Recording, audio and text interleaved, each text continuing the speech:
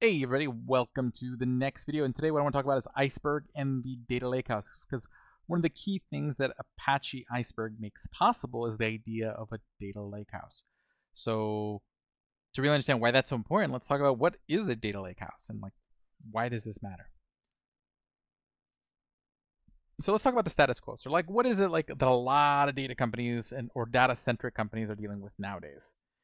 Okay, so nowadays what's happening is that you may have be a company that you have your data source. So this will be like your OLTP systems, your operational databases that are running your applications in the application side of things, and they have data. Okay, so then what you're going to do is you're going to ETL that data to the data lake. Okay, so think of the data lake as just sort of this big repository where you're going to just store all your data.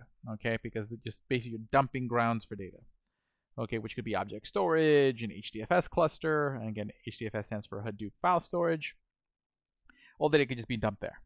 And the reason being is that generally your data lake storage is cheap. Object storage is cheap, okay? Uh, a Hadoop cluster is relatively cheap, okay? Versus buying a bunch of high-powered data warehouse machines. So generally you're to have all your data stored in the data lake, and then what you'll do is you'll ETL a subset of that data that you want to analyze into your data warehouse. Problem number one is you can only really use your, your structured data. Okay, and the problem is once you ETL and make a copy of that data, so when you ETL that data from the data lake, each time you do this, you're making a copy. I'm taking the data source and making a copy of the data that now exists in the data lake, and then making another copy that's inside the data warehouse, which stores it in a proprietary format, so we have no idea how it's storing the data under the hood. Could be Parquet, could be RC, could be their own thing. Um, you don't really understand like how any of the stuff works. It's a black box.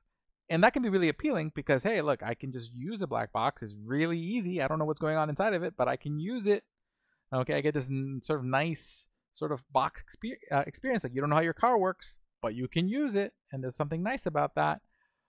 But the problem is that this is your your lifeblood of your company, your data. Okay, now it's kind of like locked in here. Okay, and now what's going to happen several different problems. Okay, one, the data warehouse is really expensive because they know they got your data locked in. Okay, um, you know, it's just like kind of like anything else where like if you buy the thing kind of already built for you, top to bottom, it's generally going to be more expensive. And if you buy if you buy all the individual pieces separately and put them together, you're going to save yourself a lot of money. Um, that's essentially what's kind of going on here, except now you have that further angle of sort of that locked in. You don't know what's going on underneath the hood. Um, you're using proprietary components, so you are locked in. Okay, basically it's going to be really hard to get your data out. So you're locked into having to use that vendor going forward, unless you really want to have to pay huge migration costs and deal with huge migration issues, um, which are fine. But then there's always that fear that you might have to do it again. And then there's the idea of tool lockout, because you're to see all these shiny tools that become available with all these really cool features and performance, and now you can't use them because your data is locked over here in the data warehouse. Okay? Instead of it being accessible on your data lake. So there's that issue. Okay, then there's data drift. Okay, so what happens is you've made so many copies of the data, the data from the, and not only have I copied, uh, a, made a second copy in my data warehouse, so I have the original copy, the data lake copy, and the data warehouse copy. So my this is my third set of the data. But in my data warehouse, I might have broken that up into different marts, so different like sub data warehouses. Okay, and then those sub data warehouses may may have been broken, made additional copies of that data, and then the data analyst might have made extracts of some of those data, so they downloaded like a copy of that data as a CSV file or like a subset of that data, so that way they can run BI a bit quicker than if they did it on the full data set. But now you have this cop, this unaccountable copy that's on someone's computer that you can't track or are aware of uh, that creates all sorts of compliance issues. So you have this whole drift of data. So data is just kind of like all, now copies of your data all over the place. Are people using the, the consistent copy? Are they using the wrong copy of the data? Um, becomes kind of hard to kind of keep track of it all. Okay, so it just gets a little, becomes a bit of a mess. So we have all these problems in the status quo, and we kind of would like to avoid them. Okay, and that's where we get to the idea of a data lake house. So same idea, you take your data, you ETL it to your data lake, you know, which could be object storage, HDFS, whatever, but the idea is that instead of ETLing it into a data warehouse, you're going to organize the data at this point into Apache Iceberg tables. Okay, and the beauty is now all your data on your data lake is now you're able to run uh, data warehouse like workloads, a data warehouse like speed and convenience, but on your data lake. Okay, and you have all sorts of tools like Dremio, okay, that really make that experience very pleasant and gives you that sort of like, you know, I'm I'm in the box feel without the box. Okay, you don't have to be locked in, and you can get that sort of really easy, nice graphical user interface, uh, intuitive UI kind of experience that you would get with a data warehouse, but on your data lake. You're not paying for double storage and having this having to pay a whole lot more to store a subset of your data in the data warehouse. Um, you can use other tools. You can use Spark. You can use Flink. You can use all the tools, um, and you don't have to wait for anyone's permission. Okay, because it's an open format. You're not you're you're not the beck and call of some particular party. Um, so data lakes are inexpensive, so you save a lot of money.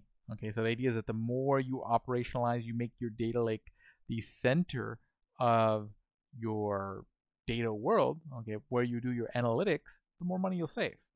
Okay, so we're going to give it these data warehouse like features, and that's why we call it the data lake house. It's a data lake with data warehouse features, or a data lake that feels like a data warehouse.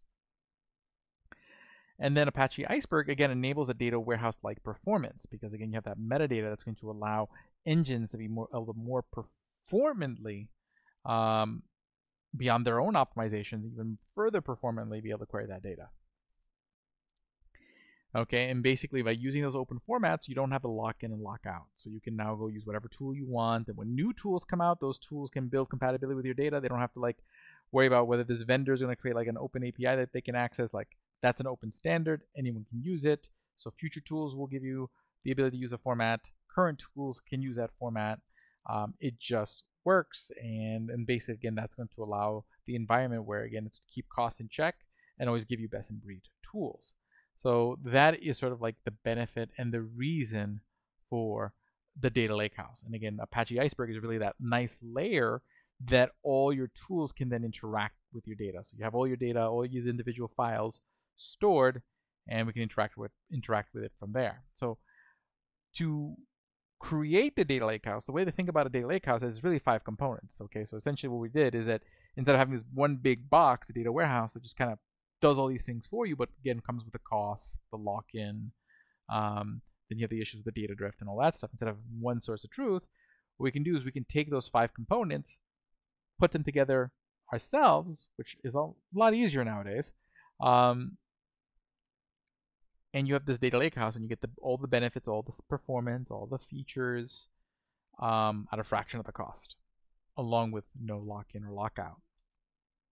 So the first layer is just like how you, where you're going to store the data, which you could use like object cloud object storage. You could use Hadoop file system clusters. Um, nowadays, everything's kind of moving in that direction of like cloud object storage.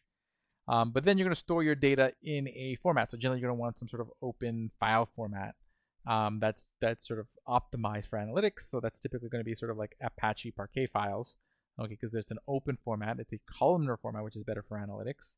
So basically, you're going to store all your data in object storage using Parquet files but we need to organize those Parquet files so we can recognize, hey, like these thousand files are one table, these 10,000 files over here are another table.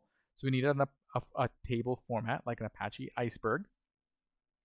And as we'll learn as we get into the architecture of Apache Iceberg, we need some sort of mechanism for tracking which tables exist. So yes, one set of Apache Iceberg metadata tells us about a individual table that exists, but there might be dozens of tables or hundreds of tables on our data lake and we need something that kind of tracks where can I find the metadata for this table, this table, that table, and that's going to be the catalog. And that catalog could be some, using something like Project Nessie, which we'll talk about, uh, AWS Glue, Hive, some sort of mechanism to be able to track, okay, what tables exist, and then point us to the, the metadata from the table format, which then will point us to the files, which are located on the object storage.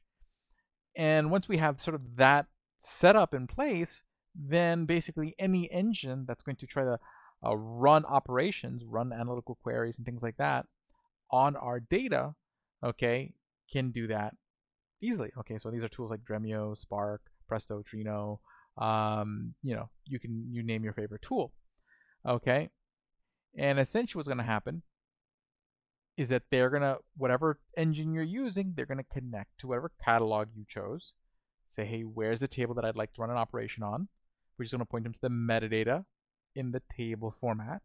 and that's going to allow them to determine which files they need to scan, and then they'll be able to find those files that are scanned in your whatever you, medium you stored it in.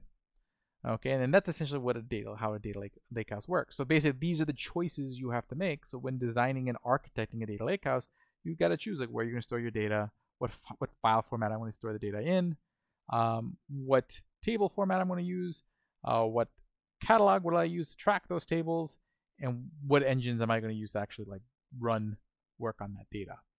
Okay, but that's essentially like the data lakehouse world and like a little primer on architecting a data lakehouse and the kind of decisions you make when when building a data lakehouse. Okay, so just to kind of show you an example, again, this is just an example architecture uh, for a data lakehouse. Okay, so in here, in this case, we chose like S3, Amazon S3 as our storage layer, and our file format is Apache Parquet.